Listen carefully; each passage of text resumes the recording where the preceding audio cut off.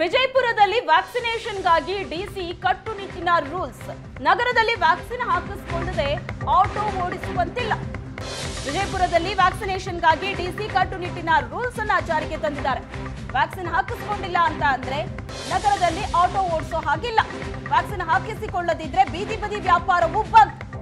ಖಡಕ್ ಆದೇಶವನ್ನ ಹೊರಡಿಸಿದ್ದಾರೆ ಡಿಸಿಪಿ ಸುನಿಲ್ ಕುಮಾರ್. ವಿಜಯಪುರದಲ್ಲಿ ವ್ಯಾಕ್ಸಿನ್ ಹಾಕಿಸಿಕೊಳ್ಳೋದಕ್ಕೆ ಜನ ಹಿಂದೇಟು ಹಾಕ್ತಾ ಇದ್ರು. ಹಾಗಾಗಿ ಡಿಸಿ ಈ ಕಟ್ಟುನಿಟ್ಟಿನ ರೂಲ್ಸ್ ಅನ್ನ ಜಾರಿಗೆ ತಂದಿದ್ದಾರೆ.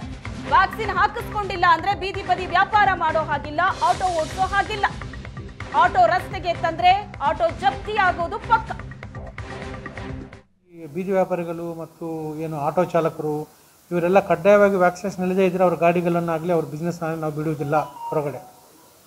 ಈ ರೀತಿ ನಾವು ಭಾಳ ಸೀರಿಯಸ್ ಆ್ಯಕ್ಷನ್ ತೊಗೊಳ್ಬೇಕಾಗ್ತಾ ಇದೆ. ಯಾಕಂದರೆ ನಿಮ್ಮಿಂದ ಕೋಆಪರೇಷನ್ ಇಲ್ಲ ಅದಕ್ಕಾಗಿ ನಾವು ಈ ರೀತಿಯ ಒಂದು ಕ್ರಮ ಜರುಗಿಸಬೇಕಾಗ್ತಿದೆ. ಯಾರಾದರೂ ಆಟೋ ಚಾಲಕರು ವ್ಯಾಕ್ಸಿನೇಷನ್ ಮಾಡ್ಕೊಳ್ಳೋದಿಲ್ಲ ಅದು ಇದು ಅಂತ ಹೇಳಿದರೆ ಅವರಿಗೆ ಗಾಡಿ ನಾವು ರೋಡ್ ಮೇಲೆ ಬಿಡುವುದಿಲ್ಲ. ಅದೇ ರೀತಿ ಬೀದಿ ವ್ಯಾಪಾರಿಗಳು ಮತ್ತು ಯಾರ್ಯಾರು ಎಲಿಜಿಬಲ್ ಇದ್ದಾರೆ ಈ ಹಂತದಲ್ಲಿ.